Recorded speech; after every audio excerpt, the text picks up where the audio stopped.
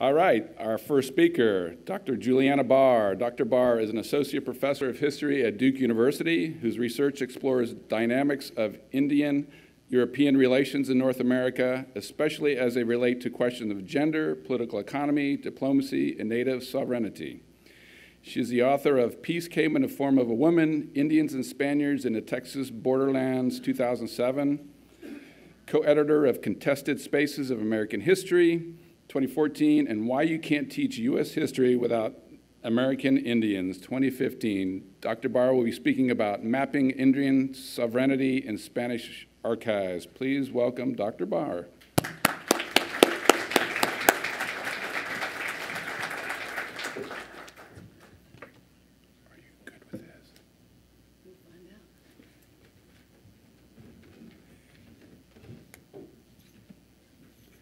Thank you so much. And um, this is going to be exciting. I've got to learn how to new, use a new clicker. And I've been told I can't wander from this podium, so we're going to see how well I do. Uh, you can all yell if I walk away and you can't hear me. Um, and I'll keep an eye on the images. Uh, so this morning I would like to begin um, with an acknowledgement that we are gathered here today in the territory and lands traditionally held by many ancestral people who later came to be known as the Tonkawa and the Lipan Apache.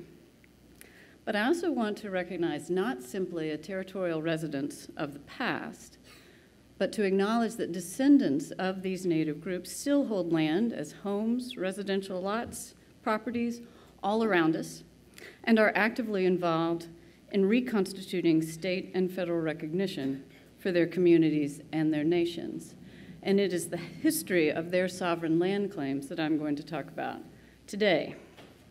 So, what I want to talk about today is how Indians exerted power in their relations with Europeans and how European maps actually document this for us. So let's look, here we go, at a close up of this map. Uh, this was drawn by Antonio Pereira, who was a Portuguese um, soldier explorer. We can date it to 1545 because it actually shows evidence of knowledge of the Amazon River, the course of the Amazon River, which we know was um, traveled by European explorers in 1542. So this is actually half of a illuminated vellum map of the world. So this is, of course, the Western Hemisphere. Uh, this shows us, in fact, uh, the sum of all knowledge gained by the Spanish and the Portuguese by that time, information primarily gathered by sea along the coastlines or from travel reports, again, um, by this trip down the Amazon. If you could see more closely and we could zoom, you would see three Portuguese uh, flags, two French flags. You can see the fleur-de-lis up in North America and 13 Spanish standards. You'll note that most of these are along the coast and some of them are on ships in the oceans approaching um, the Americas. What all those flags tell us is that maps are not just simply about the advancement of knowledge. They are about the machinations of geopolitics. Everybody can think about their children or their grandchildren who make that breathless progression from I see to I possess. Mine, mine, mine. These are all expressions of desire. They are not expressions of reality. Maps, as one cartography historian, J.B. Harley, has told us, were tools of imperialism just as much as guns and warships. Maps politically were a paper war of colored flags as Rulers in Seville and London and Paris vied for claims in the Americas. Commercially, they were promotional ads in hopes of getting investors in colonial projects. So we can see all these political, economic goals going on in maps, that they're not simply documenting um, information for us. On the surface, if we were to look at Perea's map, we would think that it seems to gel quite well with what pop culture and our public history textbooks tell us. So let's look at some of those maps. We imagine somehow that the pre Columbian um, landscape was empty, had much open spaces, that it was a wilderness waiting to be tamed and civilized by Europeans. If we look at these maps, Indian lands and Indian nations have no lines, no borders, no political markers. Indian towns have no names. Now please look at this map. This is supposed to be pre-Columbian America, so let's imagine it's supposed to be 1491. Please note the grayscale of the 48 states in the background of that map. So the map is already distorting any children's understanding of the pre-Columbian world by putting, in the spirit of manifest destiny, the 48 states over it. Now some teachers will say, oh no, but students don't know, they wouldn't be able to locate things if they can't see the state lines. And then they pause and they say, okay, well, wait. I mean, if they knew which states were which. Um, and a geographer uh, once told me that, of course, that grayscale of the 48 states, that's a political decision by textbook makers, right? They could have the Rockies, they could have the Appalachians, they could have rivers, they could have all sorts of topographic markers that could help students locate the landscape. This is a political decision to make all of this pre-US history, but it is it shifts and morphs and warps um, students' understandings of what's going on. We could also see, by the way, that I've shown you they've got native names floating freely above the landscape. They're divided by language or by culture in all these different ways. But this notion is that, of course, they sparsely occupy the landscape, living in landless bands that move constantly who have no claims to certain territories. So if we follow the narrative in the textbooks then, it's only um, when Europeans um, arrive that we begin to chart movement. Now notice the map has been wiped clean. And now we do have this notion that, oh, yes, these explorers must have been chopping their way through the wilderness, struggling against um, tropical rainforests and deserts and all sorts of other natural uh, challenges. But of course, that's all it is. The next maps take those nice colored flags we were looking at it and turn it into colored regions. Still imaginary, but nice colors to look at. So all of a sudden, right, now we do have lines. We've divided all of North America um, into regions claimed by different European powers. And of course, the key here is that if Indians have no borders, then they have no territorial claims. Then these European powers are not dispossessing anyone of their lands. So consider what it means for Europeans to divide all the Americas into a bunch of news New France, New Spain, New Granada, New Netherlands. It rewrites all American historical spaces as somehow new creations, newly created by Europeans. And it erases both the presence of native peoples across this landscape, but it also erases their past, that they have centuries of history in these lands. Anglo Americans were particularly adept at erasing Europeans from maps. This is a famous map by John Mitchell in which he imagines that the different colonies' borders just don't end. They just go all the way to the Pacific. Or look at Jefferson's map and his dreams for the Northwest Territory. And so he's already dividing it into individual states. You can see some of his rather interesting names for some of the states that he was uh, imagining in his mind. But of course, this is as if there are no native people there. And of course, this land can simply be taken over um, and newly possessed.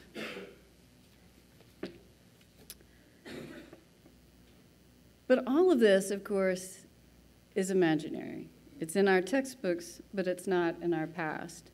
This was the reality of the pre Columbian landscape.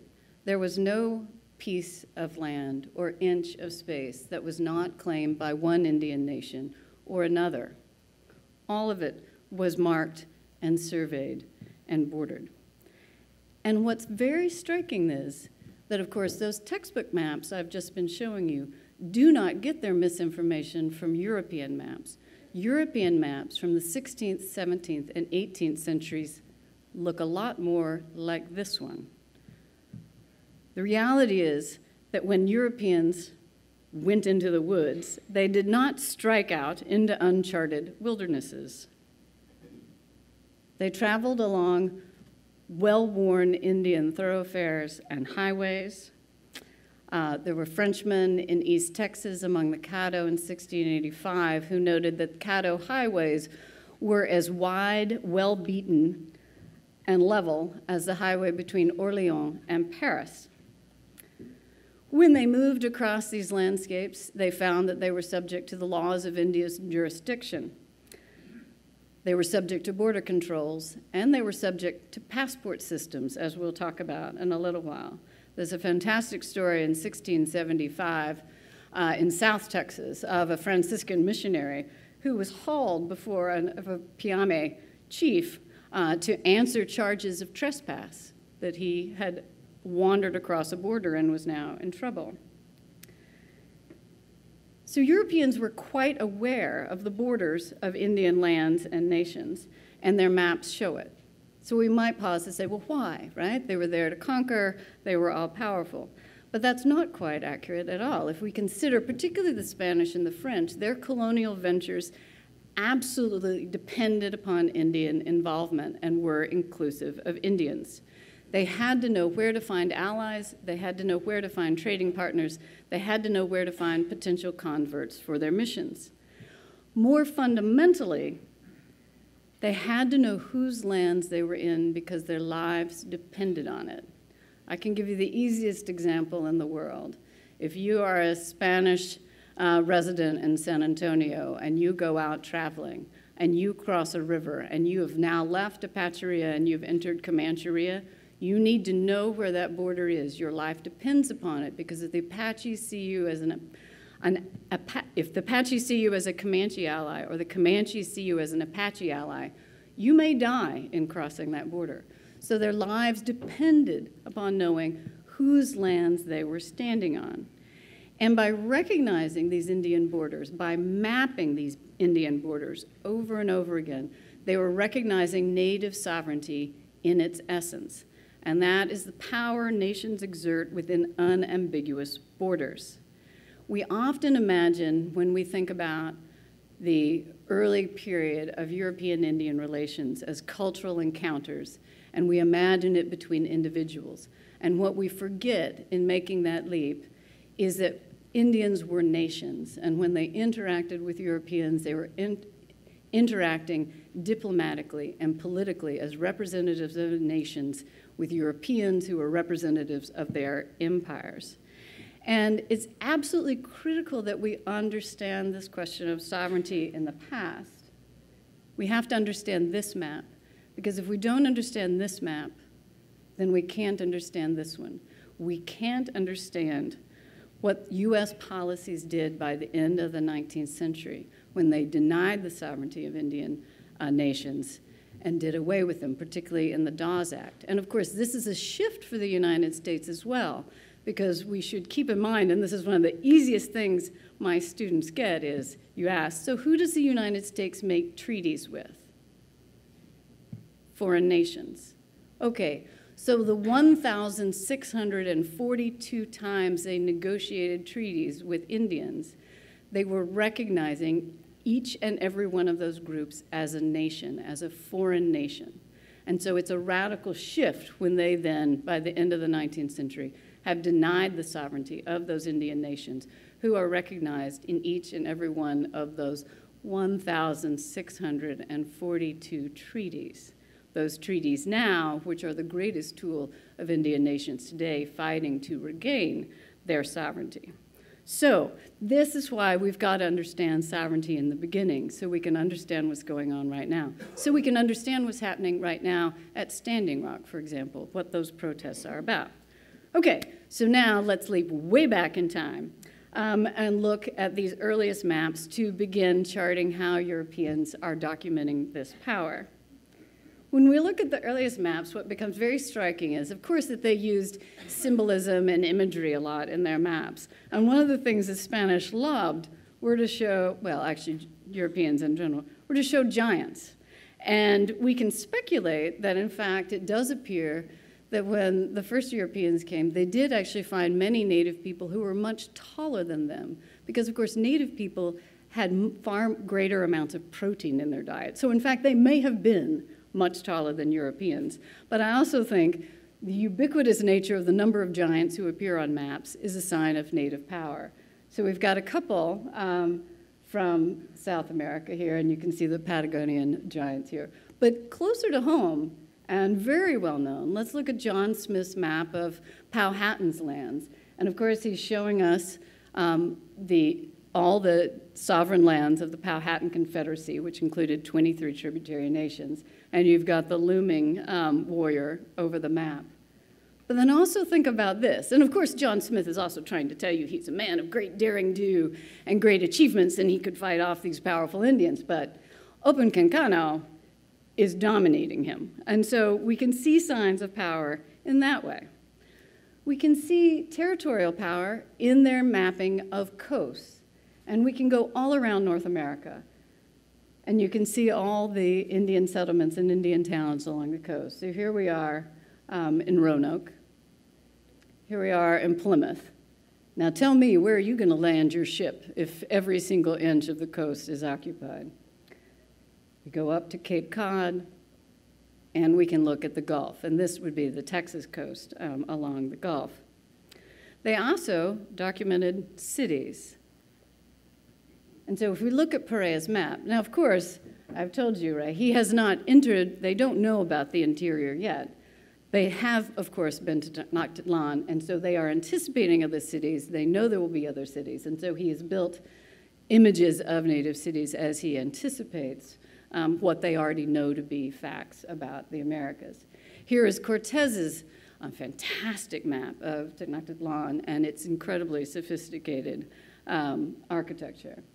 Here is an Iroquois city documented. This is actually an Italian um, re re-diagramming of this Iroquois city, Hochelaga. But what he's giving you there is he's showing you that they have triple fortifications. So they're triple walls that you have to go through. He's showing you the gate, he's showing you the inner courtyard, and then how far you have to go just to get to the king's um, housing.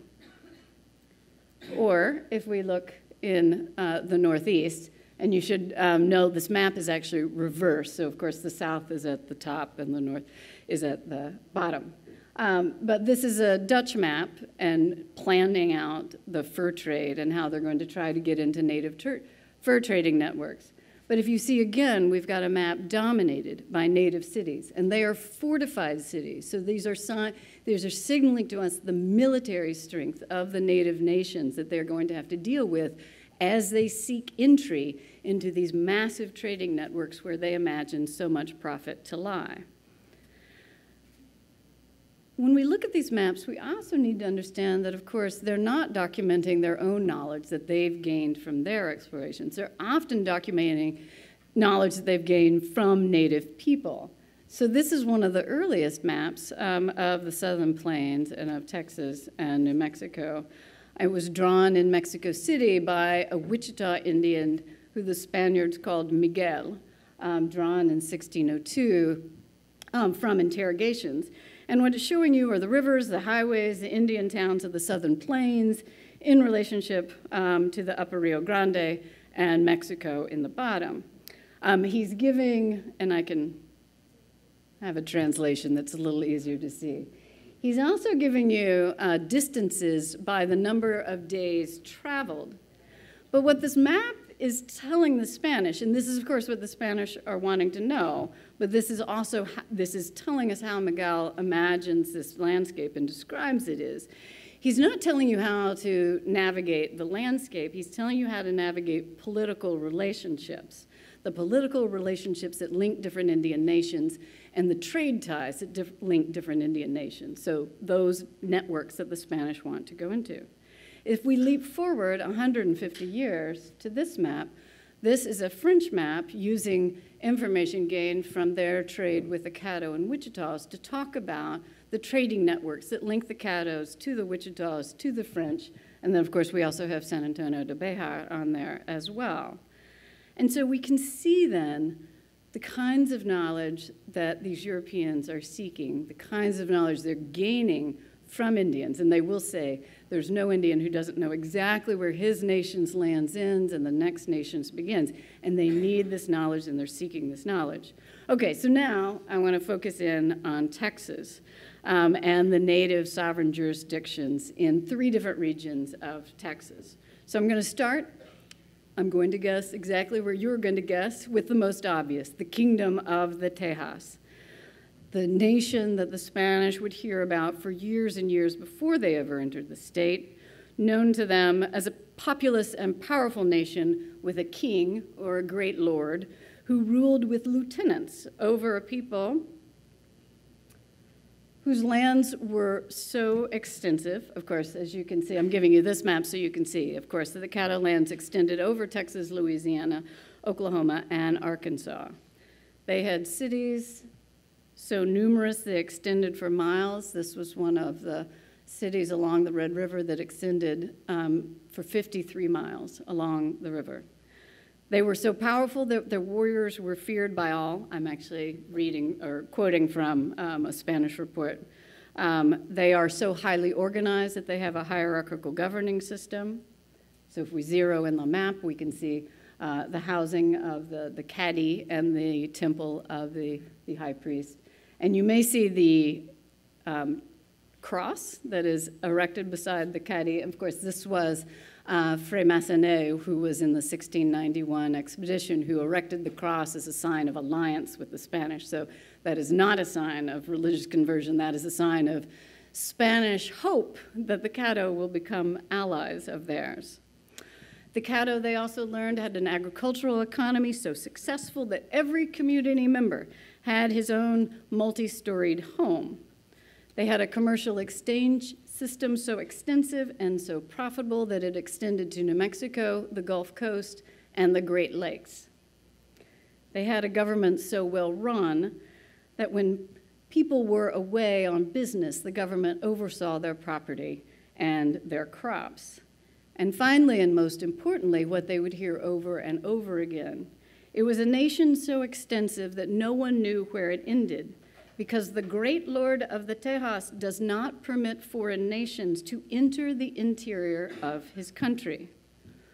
So, what becomes striking when you read Spanish and French expedition narratives is every single one of them went through the same extensive admission rituals over and over again. And so, if you can imagine these as concentric rings around the heartland of the Caddo domain, what would happen was they would hit the outer hunting areas, and hunting groups or um, a nice family would stop them and say, Oh, hi. Oh, it's so nice that you've come into our country. Why don't you stay here for just a minute?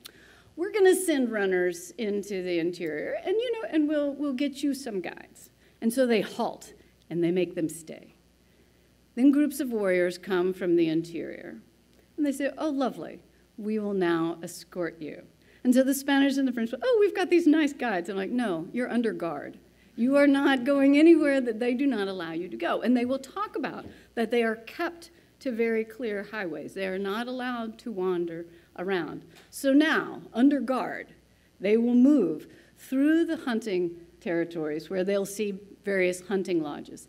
Then they'll get to the next ring where they begin to see hamlets and villages surrounded by agricultural fields.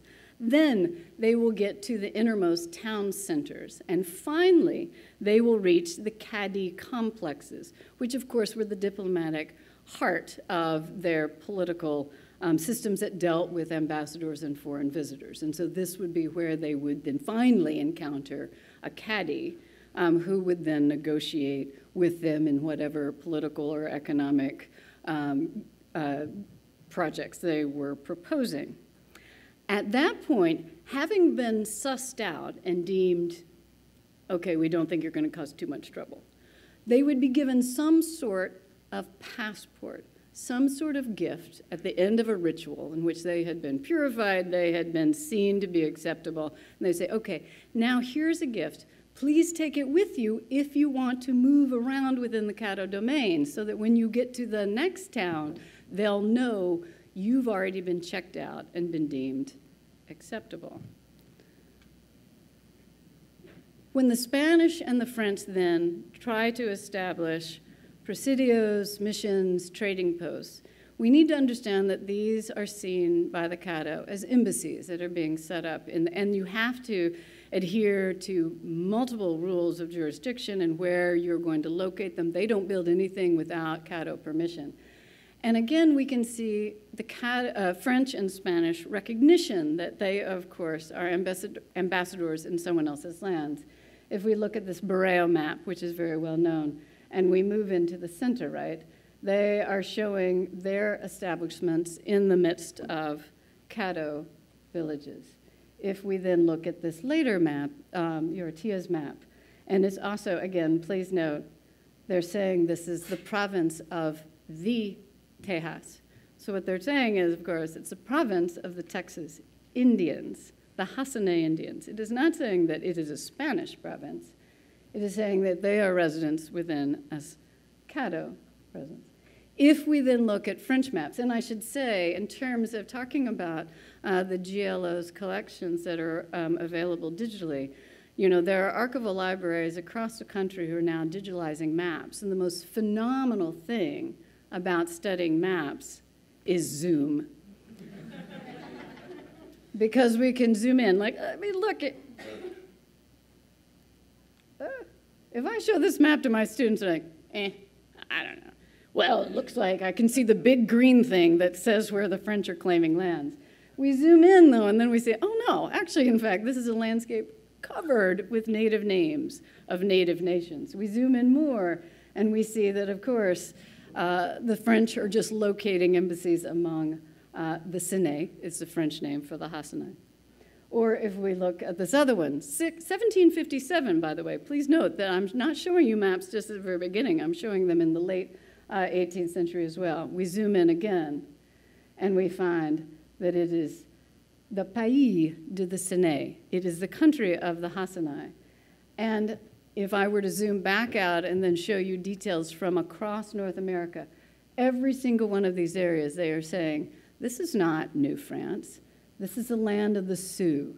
This is the land of the Paducas. It is not our land. It is native land, and they are recognizing it because they must. Okay, so next example in Texas Coahuiltecan speakers. That may seem a less obvious case. There's a certain scholarly reluctance to recognizing or associating homelands with hunter gatherers. We imagine that they're constantly in movement. But here, too, we have very clear territorial claims and borders that they had spaces of control where they controlled certain resources. So in the summer, they would move in more coalitions um, and shared hunting and gathering ranges. But of course, all these ranges were only used by certain affiliated groups. So there was a political alliance in force in terms of who could use certain lands. In the winters, they would divide into smaller, more exclusive territories.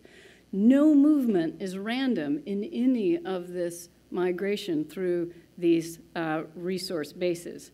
They're moving in quarters. It becomes extraordinary when you start thinking that, oh, in fact, this confederated band only moves in this very narrow corridor here, and this one here. And we can again see the Spanish are documenting this over and over again in their records because they have to know where different lands are controlled by different groups.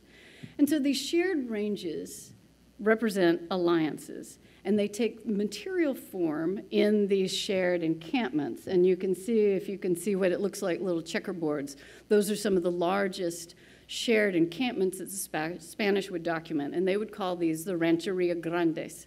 And they, as more and more expeditions came north, they would say, oh, if we're here during a certain period of time, this Rancheria Grande is always here. And so they're documenting these alliances. And again, we have clear territorial occupation. We go back to Barreiro's map, um, and then I'm going to zoom in on it too. Henry Joutel, who was with La Salle, was told that the Colorado River was clearly the dividing ground between nations. He was told, we never cross the Colorado River unless we're going to war. So obviously, it's not simply a border, but it's a border between us and our enemies. The Spanish expeditions will document over and over again pictographs and rocks located and markers along highways that are clearly territorial markers again. And the Spanish will report that, in fact, most Indian warfare in this region is about trespass. And so it's again, it is about you have failed to recognize our borders, and thus we go to war. So when, again, if we narrow in on this map, then we can also see the Spanish doing just what we saw in that French map. Um, just like the French were saying the pays de the Seine, we have the Spanish saying, here's the tierra de las carizas, the tierra de las payayas. So they too are saying, this is the land of these different Indian nations. So what's going to happen when the Spanish come and want to take up residence? Of course, they're going to arrive in south central Texas. And if you pay close attention, uh, those Mission Presidio complexes appear at the same places as these shared encampments. They don't set up shop and hope Indians come to them. They go to where they know Indians already have these shared encampments. San Antonio is at the site um, of the first site of San Antonio, is where there was a shared encampment of the Payaya and it had long been there. And so, of course, that's where the Spanish go. And if we think about these missions, and here again, a huge map that if we look at, you know, in its entirety, it's very hard to tell. We zoom in, love that zoom, and you read the missionary records for the establishment of each of these missions. Each mission was a negotiated diplomatic alliance with a different confederated group of native peoples. And so as they're negotiating it, the natives that they're negotiating with are like, no, no, no, we can't be too close to them. No, no, you, this has to be over here. And so each, there's a reason the missions are spread out in the way they are. And the native people are saying, no, we can't go there. That, we're not affiliated with them. We'll be here. And only these groups will be here. So each one is an individual diplomatic moment and a set of allies. And so when you then consider this landscape, how are the Spanish viewed by these native people? Well, they're going to set up their little villa, and they will be another ethnic enclave in this shared encampment. They are just one of multiple groups who have all come together in this area. So consider what the Franciscans will tell us, right? They will moan for years and years, oh, our missions are such a failure because the native people there are using the mission sites as they use their shared encampments. It is just one of many shared encampments within the domain, a much larger domain of their lands. And so, of course, they come and go because we only go to shared encampments in that area at certain times when there's certain resources available. When those resources dry out, we leave. So they're not runaways. They're just using the mission site just as they would their shared encampments. They come together for group hunting and group hunt gathering. They come together for ceremonies, for healing. They go to see the doctor. Um, if you are exogamous bands, which you are, and so you've got to marry outside of your band, you've got to come together with multiple other bands so your sons and your daughters can meet somebody and can court and can find somebody to marry. And at these shared encampments, of course, political and economic alliances are renewed and negotiated again. And so, of course, in this world, the Spanish are just another group, one of other allies. They're not overlords. They're not controlling the native population there. Clearly, this is, the Franciscans are very aware of this, right?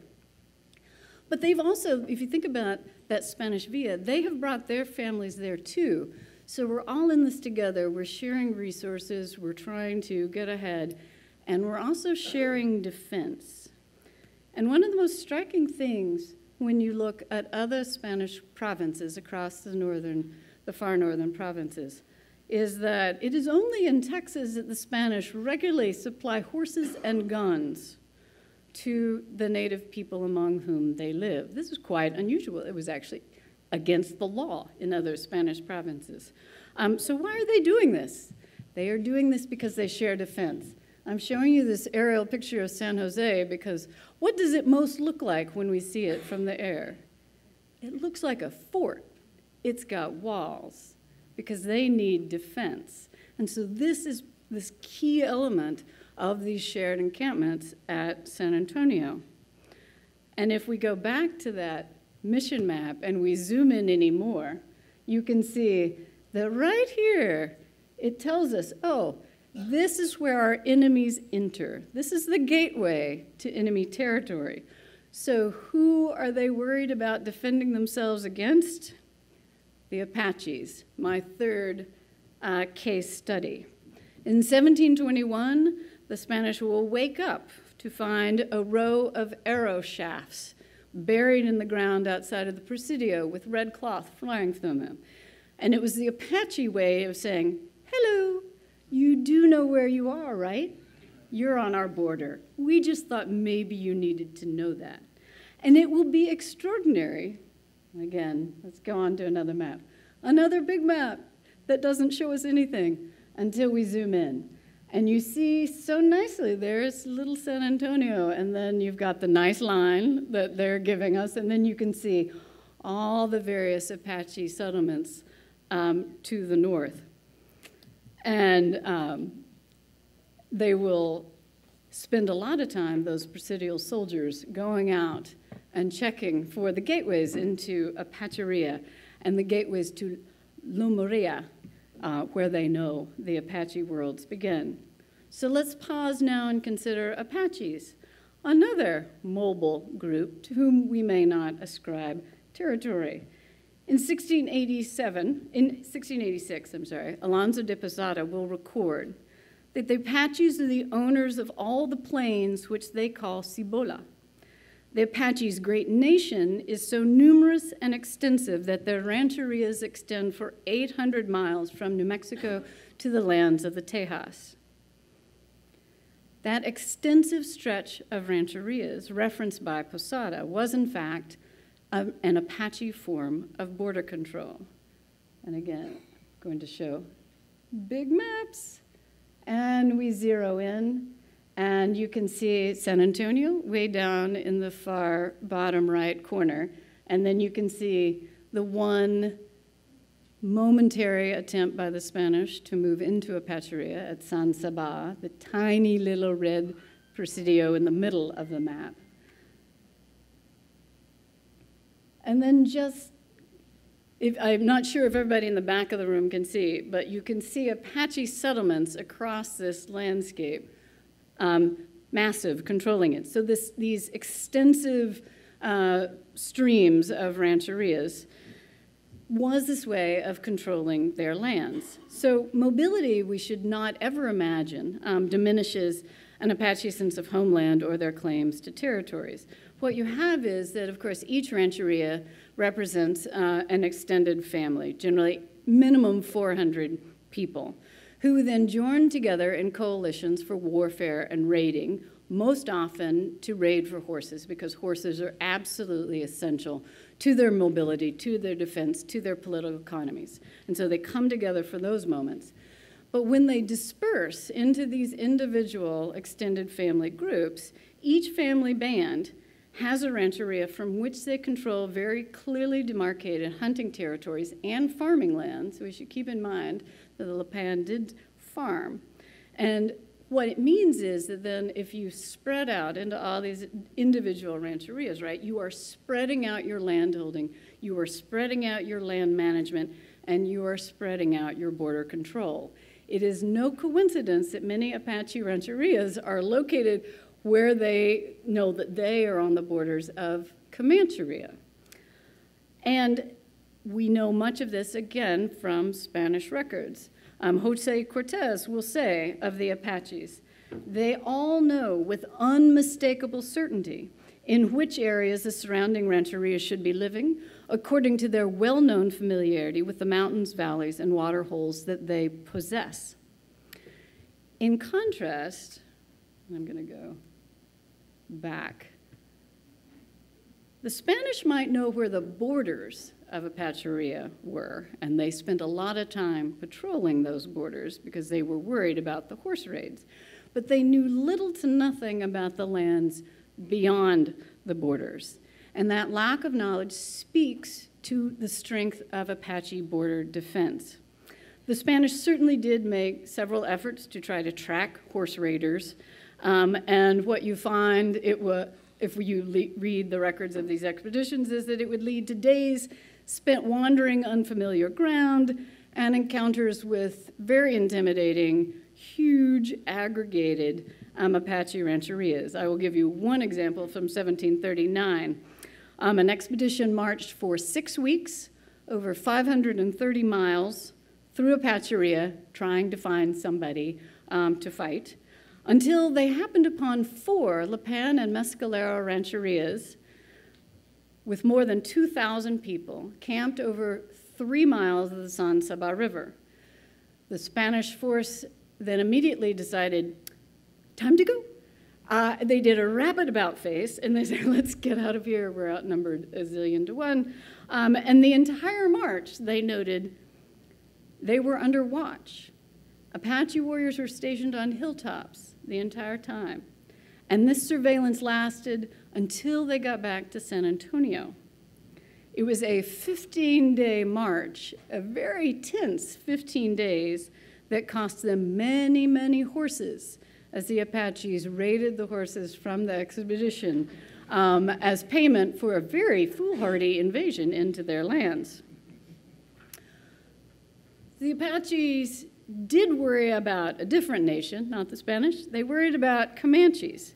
But what is striking about the Comanches is that we tend to cast Apache Comanche relations as some sort of unknowing blood feud that had lasted for centuries. But of course, uh, it was far more simply border wars between two very powerful nations. And if you think about it, right, they both have very similar political economies. They both have raiding economies. And we need to understand raiding as a growth strategy, right? You can, it's a means of territorial expansion, it is a means of domination. So it is geopolitical just as, is, just as much as it is economic. And as I make you pause and think of that, I also want to make you pause to consider before accepting the traditional narrative that Comanches won the contest with Apaches. And I'm not going to say I'm going to let um, Professor Rivaya Martinez tell us far more about Comanches in the afternoon, so I'm not going to, I'm looking at this from Apache perspective, but I think that Apache perspective is absolutely crucial because we tend to pay more attention to the Comanches, especially since Pekka's Hämäläinen's wonderful book, The Comanche Empire. But we need to follow the Apaches because they simply translated their domain south to the Rio Grande and to Coahuila. And this migration south did not diminish in any way their power, especially to Spanish eyes. And so, what you see, for example, in uh, the names of landmarks and hilltop ranges is all of a sudden uh, throughout Coahuila, you had landscapes that had certain native names, and now all of a sudden it's the, the Paseo de Apaches. So it is the pass through which Apaches come to raid us. So the Apaches are simply moving their domain south. And this does not mean that their borders and their power are any less distinct or sound. So at the end of the 18th century, in 1799, Jose Cortez, a Spanish military officer, will describe, and he's describing here only the Lipan Apaches. He will describe them as one of the most considerable nations in northern New Spain, a nation whose borders he could fix with certitude. They extend over a vast territory. To the west, they border the Llaneros. To the north, Comancheria. To the east, Coahuila. And to the south, they reach far beyond the Rio Grande. It is amazing to stop and consider. He is writing this in 1799 that the Spanish in Texas were part of the periphery of the largest, most prosperous European empire in all of the Americas. The Viceroyalty of New Spain had a population of 1 million colonists and mestizos and uh, 2 million natives within their population.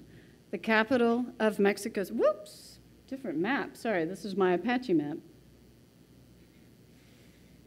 And there you can see what Cortez is telling us. Now, here's Mexico City. The capital of Mexico City, of the Viceroyalty of New Spain, was the most sophisticated metropolis in the Western Hemisphere. With its spectacular Baroque architecture, its broad avenues, and one of the world's greatest universities. Yet, if you were a Spaniard in Texas, it was far more important that you were living on the borders of Indian nations, not that you were part of this great European empire. Thus, Texas is a powerful reminder that in 1800, 300 years after Columbus, 25 years after the Declaration of Independence, more than 75% of North America was still in the hands of native nations. And you can see they will talk about the limits that they've expanded. But if we go back to this map of North America, 75% of the continent is still in the hands of native nations. 50% of what the United States is claiming in 1800 is still, in fact, in the hands of native nations. And I, two easy examples, the Iroquois and the Cherokee. And so what we need to remember then is that, in fact, that Berea map that I was showing you looks far more like this than anything in any of our textbooks. So I'm going to stop there, hopefully within time. And um, I believe I am now allowed to open the floor to questions. And you will tell me time for that too. Okay. Thank you so much. The other one.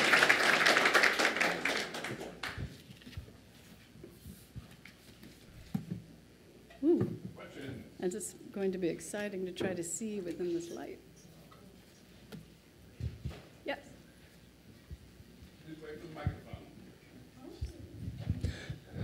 The mission, the mission San Saba, which was um, partially occupied by Apache but attacked by Comanches, where did that figure in terms of the boundary between the Apacheria and the Comancheria?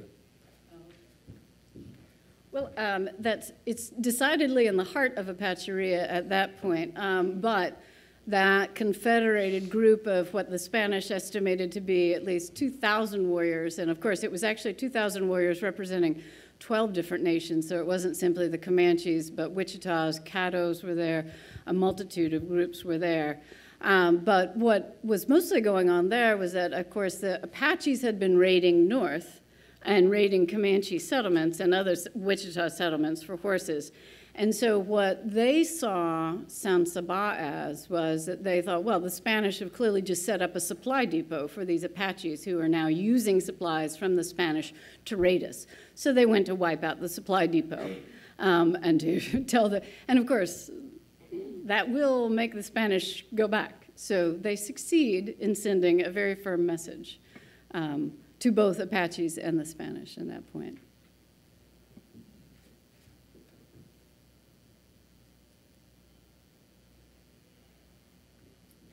Excuse me. There's discussion uh, nowadays about the impact of diseases on the uh, Native American population. Can, can you talk a little bit about uh, the, the change in populations and what might have occasioned it? Absolutely. Um, well, I think actually um, our views have changed um, quite a bit in the last 10 or 15 years. That it used to be believed that, of course, diseases had um, had been the main source of native population declines, and it and what happens in the Americas is generally deemed the worst demographic disaster in all of world history. Um, but what has come to be clearer, I think, with comparative history, though, is that in fact, if we look at a comparison of what happened, what happens in North America and what happens in Latin America, what you can see are that native populations in the 17th century begin recovering in Mexico's and in fact, native populations are growing faster than Spanish populations um, by the 18th century. So, in fact, um, they're recovering from an onslaught of disease. And yet, native people in North America and within the bounds of the United States will not reach their population nadir until 1910.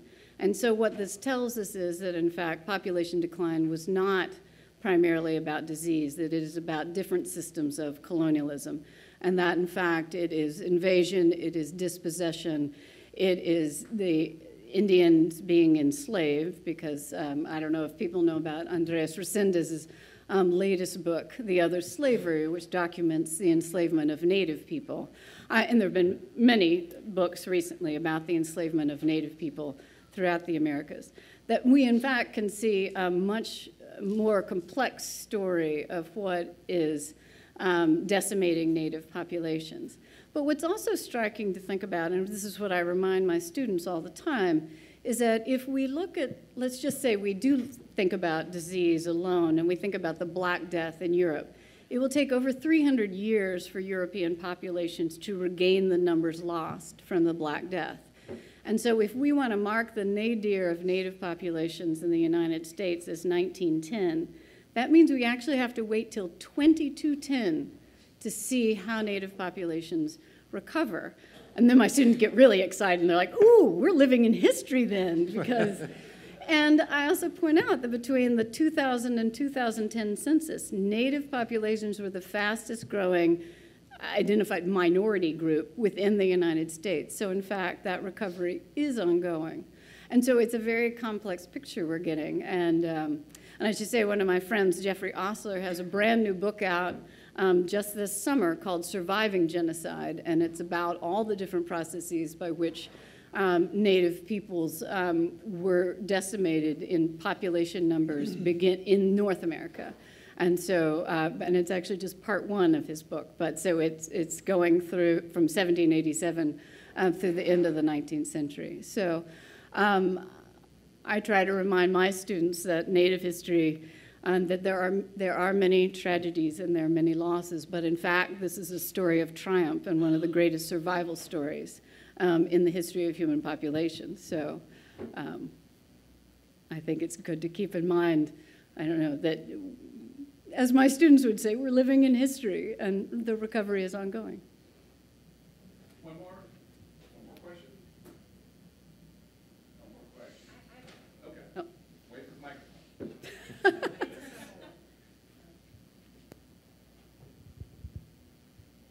It's a simple one. That last map, which I know you showed at the beginning as well, what, Okay. what, ye- what year, what are we talking about? What's the approximate time period? Yes. Um, it was made by a demographer who is at Stanford, and he dated it as about 1600. Um, of course, knowing which Indian nation, the Indian nations I study, I, I of course would dispute some of his. But what he's trying to tell us is a much the, the bigger picture that, in fact, we really can't see this landscape somehow as unoccupied, that every part of it is claimed, yeah. And that, again, we need to think about different political economies occupying those lands in different ways. But it's, um, it's, the demographer is a man, Matthew C. Snipp. And, um, and actually, his, the map of uh, reservations was also his. Although reservation lands have expanded um, since that map he drew, too, so. Thank you very much.